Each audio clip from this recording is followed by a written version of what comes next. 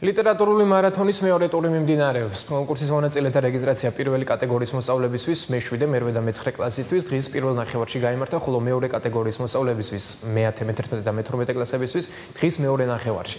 მარათონის მეორე ტურში მონაწილეობას ორივე კატეგორიის 35-35 მოსწავლე მიიღებს. მარათონი აჭარის ავტონომიური რესპუბლიკის განათლების, კულტურისა და სპორტის სამინისტროს ეგიდით მე-4 წელია ტარდება. მისი მიზანი მოსწავლეებში მხატვრული ლიტერატურის კითხვის პოპულარიზაციის